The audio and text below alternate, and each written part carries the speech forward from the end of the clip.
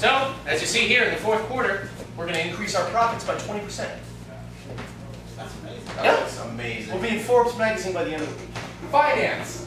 Yes. Sir, Yeah, great job. I'm so glad you kept me with the great work. Hey, I trusted you. Thank you. sir. I knew you were so good. much. Business. Yeah.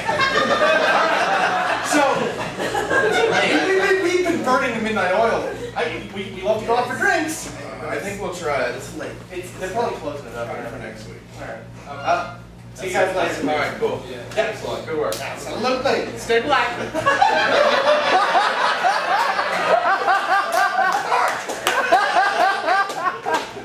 I realized that that was the second time. you weren't buying the first story.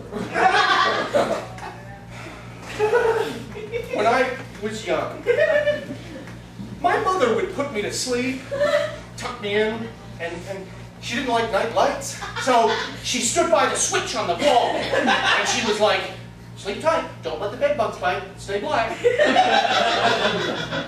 you know, stay, keep the room dark.